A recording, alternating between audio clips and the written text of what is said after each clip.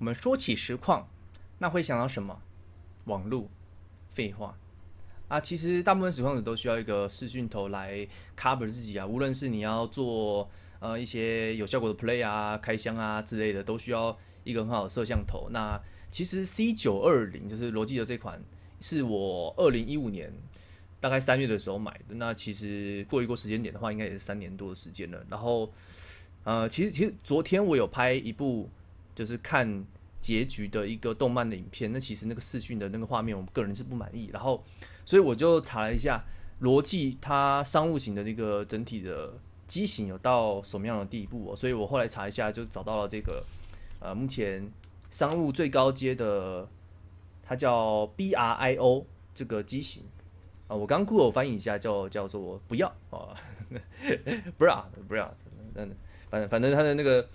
那个起谐音的话就很像，听起来就很像不要了，不要就是要的意思啊。呃，基本上这个在光华的一个实际价格售售价的话，应该是六千六百多块啊，有上到六千多。那其实大部分的人都会选择像是更下一阶的，像 C 九二二，那其实是 C 九二零的比较改良版，呃，也差不多落在三千多块啊。所以这整体就是那些那个平常。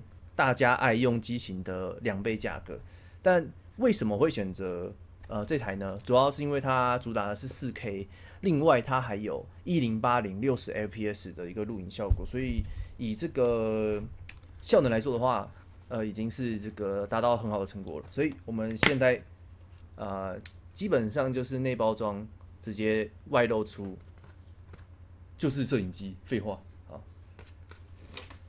然后，摄像机，呃，摄像镜头，它后半边就有一个 USB 的孔，我们看到在这边，这一个小孔，然后它需要插的是 USB 三点零，所以如果你没有 USB 三点零的话，那就要赶快去弄一下了。然后剩下的话，它的麦克风我记得是两格，那我还是觉得要把这个毛线膜撕掉，因为好像要挡到我的这个旁边的这个孔，这样会觉得很难看。那其他大部分的一个摄像头的设计都一模一样啊，就就是下面有一层，它可以把它掰开，然后你可以卡在像是荧幕上面啊，或者是什么地方。哦，现在我还是用这个 C 九二零的画面在录，所以可能画质不是那么好。如果我要真的要开箱录的话，我刚才用 iPhone 七开啊，对不对？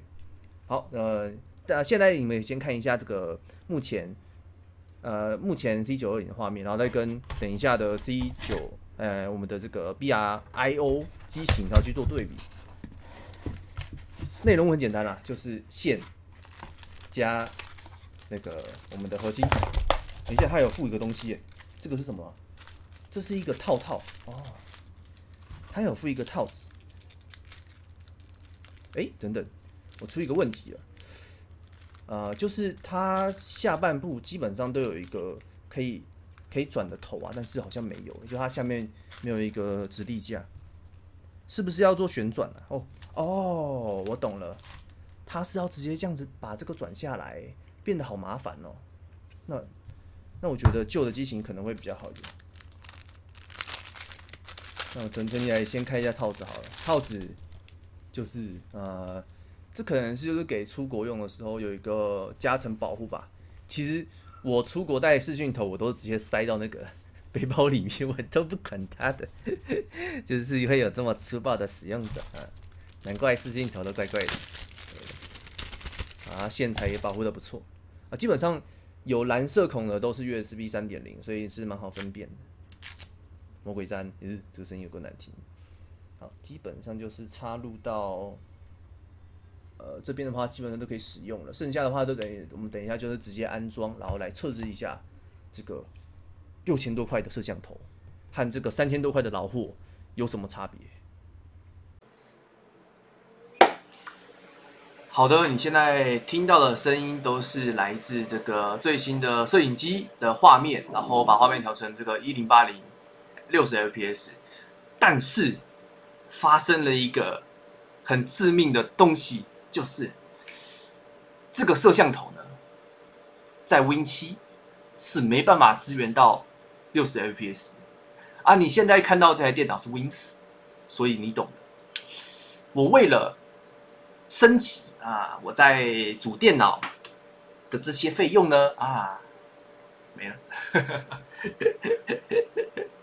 好，好，这这也帮大家先买个保险，就是啊，如果如果如果你基本上你的设备是 Win 七的话，就啊可以先可以暂缓一下，但是因为因为我其实我的实况机是 Win 十的，所以基本上是没什么问题，而且甚至我在玩一些三 A 级大作的时候，都是用实况机帮我实况，所以哎，这样其实刚刚好。只是我在录影片的时候，我买这个摄像头就就有点小小可惜了，你知道吗？啊，现现阶段，嗯，这个顺畅度我个人是还蛮喜欢的啦。对，看那个手指间的浮动，呃，然后我们等等有机会再拿那个三十 F，我们我们调一下三十 F，哎，三十 FPS，你看到哦，这是六十的哦，好，好，现在我要调成三十了，你感受一下这个两倍数之间的差距，好，这是三十的，三十了，啊，三十了，然后。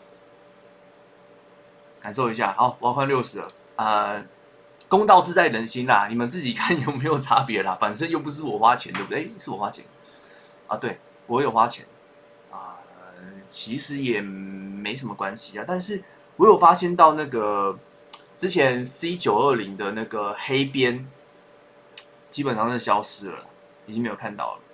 所以呃，问题解决了啊，但是没办法用用在 Win 七上面，读不到。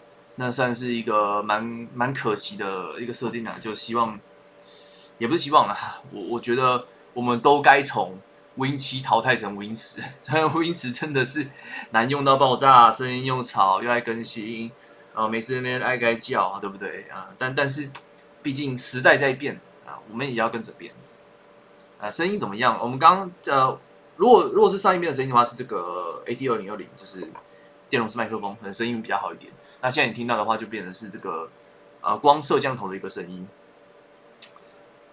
所以性价比高不高？你花两倍的钱得到这样的一个效果，就看看个人了，啊，我个人觉得还蛮 OK。然后，其实我我还有另外一组的录影设备，所以我需要拍影片的话，我可能就是移到实况机这边来，这就是有两台电脑的好处。好，那我们这边。先告一段落，感谢大家。这个整体来说呢，画质 OK 啊，但是这个相容性稍微有点可惜，不过还是给蛮高分的，就看各自的选择喽。各位，拜拜。